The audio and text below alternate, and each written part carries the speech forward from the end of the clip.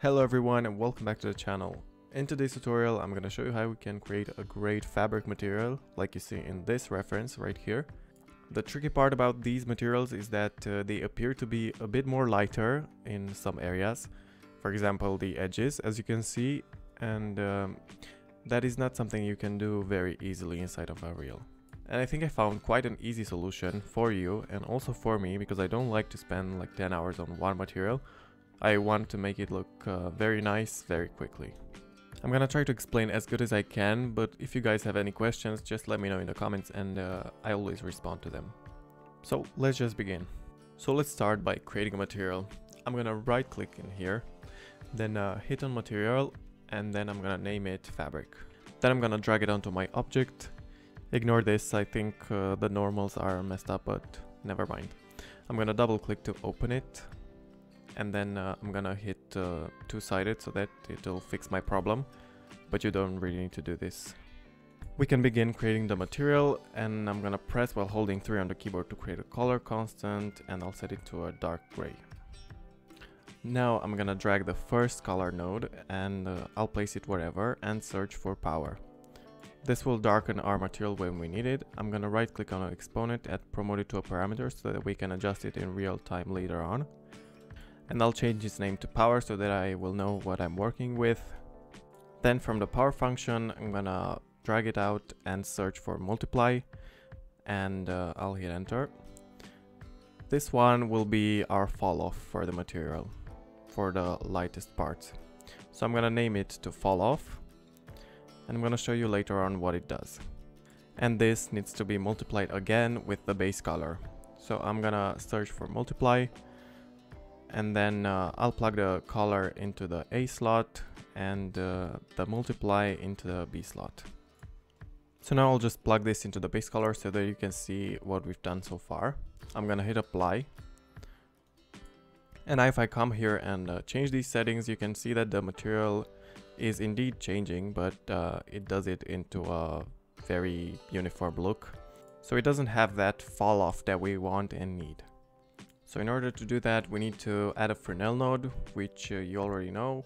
It manipulates the material on how it looks uh, from the front and from the edges. So I'm gonna right click, search for Fresnel and add it to my material graph. Then I'll make the first two exponents parameters, because we will use both of those in this video. And we'll combine all of these together with uh, a lerp node, so I'm gonna drag it out and search for lerp, or linear interpolate. I'm gonna plug it into the alpha, the Fresnel, and then I'll plug uh, the first multiply into the A and the second one into the B. And then I'll plug the lerp into the base color. And basically that was it. This is our material. It looks worse than it actually is. Uh, just so you know, I don't have a roughness or normal map for this texture, so I'm just gonna use it plain. But if you do have, make sure to plug them in.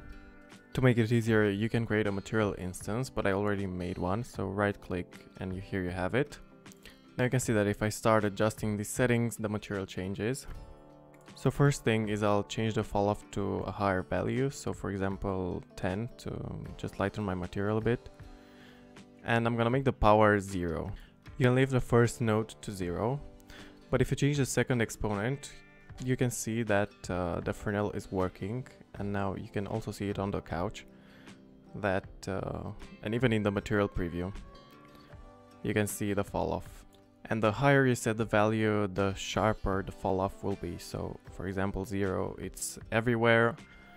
If I set it to one you can see that uh, it's starting to show a bit more on the edges. So now I'm playing with the settings to get um, the right look for my fabric material. For fabric I would go for more of a softer look, so uh, something like this. So now I'm gonna jump back into the material graph. Uh, I put in my texture here and I'm gonna replace the color with uh, this one. So I'm gonna plug it into the first slot of multiply and uh, the base node of power. But in my case I also have to add a texture coordinate uh, because the UVs aren't done properly on this sofa and I need to adjust the tiling so this will come in handy for me. So I set them to 10 and I'll hit apply. And I probably don't need to do this anymore, but I'm uh, back here adjusting my texture so that it looks good and it matches the reference. Oh, and if you have uh, a normal map, roughness, specular, whatever, don't forget to add them in because uh, mine doesn't have those. So I'll just skip it. But if you do have them, make sure to use them. And that was it with the fabric material. You can use it for all sorts of uh, materials like uh, velvet or cotton or any sort. So now let's move on to leather materials, which is also very similar. I'm gonna right click, create a material, and then I'll apply it to my mesh. So now I'll double click to open the material graph. And I'll also add the fabric material besides it. And now I'll go ahead and open the fabric material and uh, I'll select all of these nodes copy them and then I'll place them into the leather because we'll use the same ones. I'll just delete this texture and plug in the leather texture that I have, which is this one. And I'll plug it into the multiply first node and uh, again in the power base node. But for some reason when I apply this new material it uh, messes up the UVs so I'm just gonna use the earlier one that I made that uh, has correct UVs. But as you can see, it's made exactly the same, just uh, the values are different because uh, I use them here, so I'm just gonna set them to zero. So in this material, the nodes were named, so I named them again so that you can see what I'm uh, adjusting.